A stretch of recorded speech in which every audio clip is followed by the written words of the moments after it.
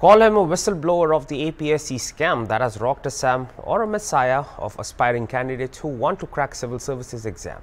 Okram Prashanta Singh, resident of Bhakatpur on the outskirts of Silchar town in Assam, runs a tutorial for aspiring candidates who want to crack combined competitive exams. Enraged after a few of his exceptionally brilliant students missing out on clearing the Assam Public Service Commission's combined competitive exam, he filed a PIL in Guwahati High Court in 2015, challenging the exams held in 2013 and 14. In his report, Okram Prashanta Singh mentioned about the gross anomalies in tabulation and marks allotted to the deserving students, which came to light after filing of RTIs. Retired Justice B.K. Sharma took cognizance of Okram Prashanta Singh's report along with his own investigation and has resulted in 34 APS and ACS officers of Assam now being imprisoned or suspended from their services. Talking to Hornbill TV about his fight for, for justice, he said he wants the deserving candidates to get what is rightfully theirs and combined competitive exams for the year 2013 and 14 be held once again. Here's an exclusive chat with Hornbill TV. APSC scheme. This is scheme, not not just cash for job. Cash for job is just a subset of the scheme only. Because this scheme is something like the Telgi scheme, then the Harshad Mehta's scheme that type because of the a lot of manipulation was there in the answer script in, in the form of the uh, documental manipulation then after that uh, i went to the honorable guwahati high court for seeking the, some pil pil 106 of 2015 then. And uh, under that pil only the honorable guwahati high court uh, directed the government of assam to implement the inquiry commission and the formation of the inquiry commission. Because the then Chief Minister uh, Tarun Gogoi, then uh, he informed uh, the governor under under Article 167 uh, regarding the formation of the inquiry commission, but he was not implemented.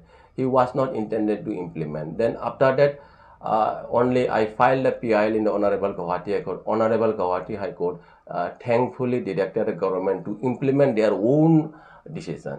Then later on, inquiry commission was formed, and that's a very long journey because uh, that journey include even in the honorable supreme court also then because the, the, the then uh, then the uh, the kingpin of this scam then Rakesh Paul then the, being the chairman at that time then the, he again went to the supreme court and the finishing of the legal procedures it it had taken a lot of time then after that uh, that um, after the formation of the inquiry commission under the uh, honorable retired judge B.K. Sharma. Then again, the, then the, he uh, he already submitted the report of both the investigations regarding the uh, combined competitive exam 2013 as well as the 14. Then after that, the today, then the then the, whatever the incidents of the areas of the some of the then the uh, tainted candidates and the investigation by the SIT. This is after the submission of the uh, Honorable retired Judge uh, B.K. Sharma's uh, report only. How, how do you feel now? How do you feel after so long a fight that today now arrests are made, suspended uh, some officers? What would you like to say about that?